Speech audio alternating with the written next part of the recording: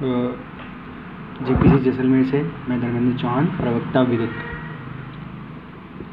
आज हम ई ई तीन सौ चार इलेक्ट्रिकल डिज़ाइन एंड ड्राइंग का एक टॉपिक है output equation of DC machine output equation of DC machine output equation का मतलब डिज़ाइन एंड ड्राइंग में हम आउटपुट इक्वेशन को हम मशीन की फ़िज़िकल डायमेंशन जो मेन डायमेंशन होती है, यानी मशीन का डाया लेंथ डायामीटर और लेंथ के रूप में उसके आउटपुट इक्वेशन को रिप्रेजेंट करते हैं। तो relation between rating and dimension of DC machine हम रिलेशन निकालते हैं जो उसका फ़िज़िकल डायमेंशन है, यानी उसकी लेंथ और डाया व्यास, जो रोटर का व्यास है, और रेटिंग के बीच में क्या संबंध है। The purpose of this section is to try to relate the rating of rotating machine, DC machine to their main dimension जो उनकी मेन डायमेंशन है, उसके बीच में रिलेशन स्थापित करना। How the size and shape of machine are related to its rating machine की जो size है और उसका शेप है, वो कैसे रिलेट करता है उसकी रेटिंग से? तो उससे पढ़ने से पहले हम तीन चार पॉइंट पढ़ते हैं कि मशीन में कौन कौन सी लोडिंग्स होती है, यानी कौन कौन सी भारीता होती है।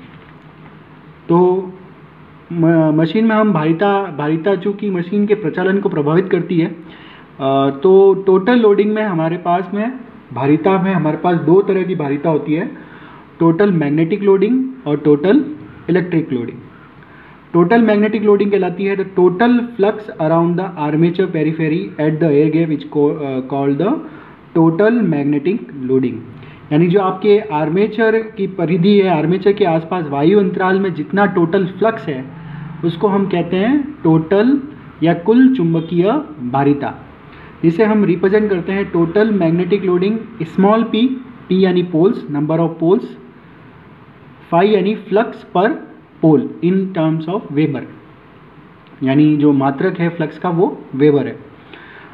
Total electric loading total electric loading the total number of ampere conductors around the armature periphery is called the total electric loading. Total number ampere ampere चालकों की कुल संख्या आर्मेचर के अक्रॉस या आर्मेचर के चारों तरफ़ टोटल एम्पेयर चालकों की संख्या क्या कहलाती है कुल विद्युत भारिता, जिसे हम रिप्रेजेंट करते हैं total electric loading I Z into Z या आई जेड है एक चालक में या चालक में प्रवाहित होने वाली धारा इन एम्पियर और जेड है टोटल नंबर्स ऑफ़ कंडक्टर्स कुल चालकों की संख्या। तो ये हो जाएगा आपका एम्पियर इंटू चालक। अब हम आते हैं मेन डायमेंशन पे। ये एक थोड़ा रफली स्केच बनाया हुआ है डीसी मशीन का। ये जो स्टेटर है जहाँ पे पोल लगे हुए होते हैं जिसके अंदर तो स्टेटर जिसकी लेंथ कितनी है? एल और एक रोटर का डाया है, यानी व्यास डायमीटर उसको हम रिप्रेजेंट करते हैं डी से। व्यास, स्टेटर और रोटर के व्यास में लगभग मतलब नेग्लिजिबल डिफरेंस होता है, और जो एयर गैप होता है बीच में वो बहुत कम होता है। तो डी बराबर armature diameter in metres D बराबर आर्मेचर का व्यास इन मीटर एल बराबर stator core length stator core length in metre, small N speed in RPS, revolution per second. Small P बराबर नंबर ऑफ़ पोल्स, पोलों की संख्या। A बराबर number of parallel path, A बराबर number of parallel path, समांतर पथों की संख्या। टॉ बराबर पोल पिच, यानी ध्रुव पिच इन मीटर्स, यानी एक पोल दो असंगत, यानी नॉर्थ और साउथ पोल के बीच में दूरी कितनी है? इन टर्म्स ऑफ़ मीटर यहाँ स्लॉट्स में बात नहीं होगी। जैसे हम दूरी नापते हैं स्लॉट्स पर पोल तो यहाँ खाँचों की संख्या में काउंट ना करके हम जो डिस्टेंस है उसको मीटर में काउंट करेंगे। Tau pole pitch pole pitch z बराबर टोटल नंबर ऑफ़ आर्मेचर या stator conductor I Z current in each conductor each conductor के अंदर कितनी करंट का फ्लो हो रहा है? आई ए बराबर है armature current in ampere E बराबर है आपका बैक ईएमएफ या जनरेटेड ईएमएफ पी है rating of the machine in kilowatt P और नीचे स्मॉल ए है power developed by armature power developed by armature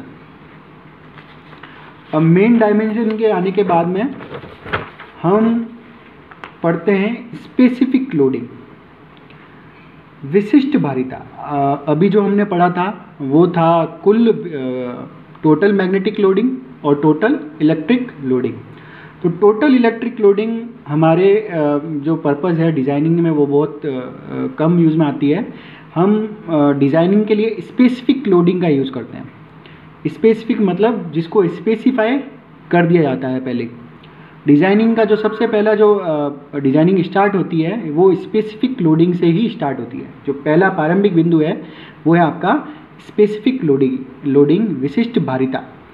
Two types of loadings are specified which are starting point in the design of rotating electrical machine दो types की loading specified की गई है, जो starting point है designing का।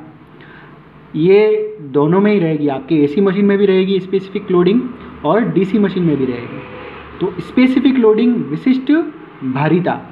तो विशिष्ट भारिता के अंदर सबसे पहला है आपके स्पेसिफिक मैग्नेटिक मैग्नेटिक लोडिंग विशिष्ट चुंबकीय भारिता।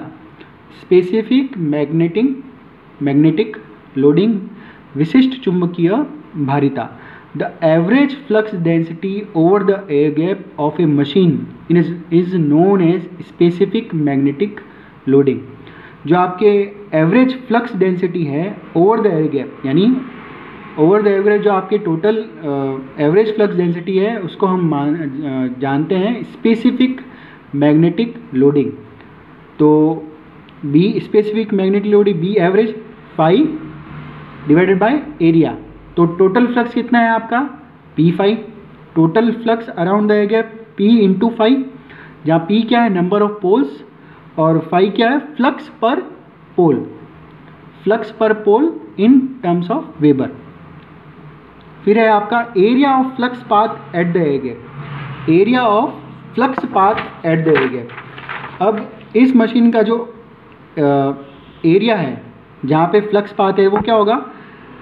पाई इंटू डी ये जो, ये pi into D into L ये जो एरिया होगा, जिसका सिलेंडर एरिया है, जो बेलनाकार वो जो पोर्शन होगा, उसका एरिया क्या होगा?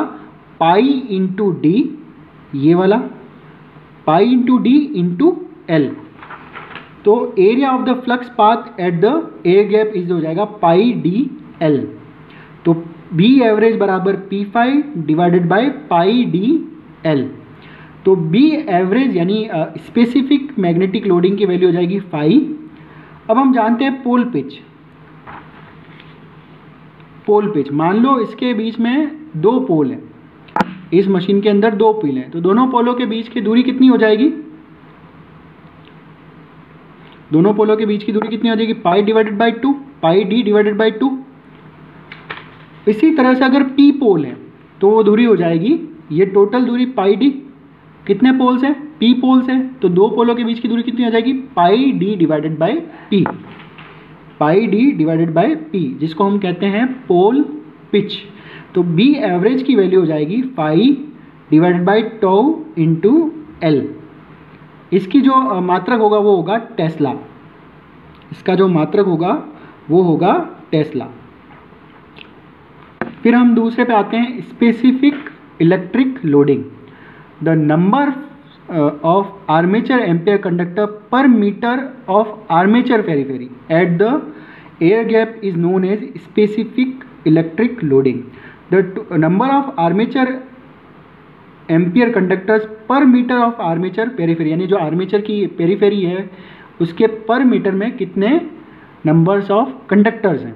नंबर ऑफ़ कंडक्टर्स हैं, वो कहलाती है आपकी स्पेसिफिक इलेक्ट्रिक लोडिंग तो स्पेसिफिक इलेक्ट्रिकल लोडिंग को रिप्रेजेंट किया जाता है ए सी स्मॉल ए सी से, जो होगा total armature ampere conductor divided by armature periphery at the air gap यानी आर्मेचर की जो पेरीफेरी यानी जो परिधि है वो कितनी है? Pi D total number of conductor कितने हो जाएँगे? जेड हमने पढ़ा है।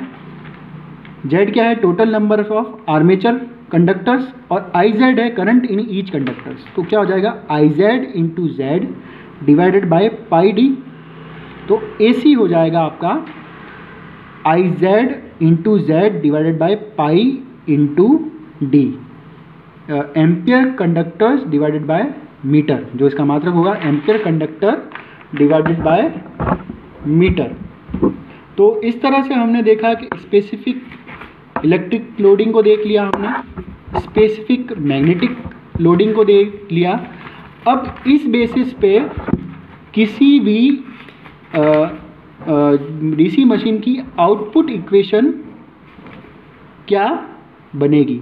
तो जो आउटपुट इक्वेशन है वो हम आ, निकालेंगे इन्हीं पैरामीटर्स के बदौलत। तो जो इसका मात्रक होगा वो होगा ampere into conductors per metre ampere into conductors per metre.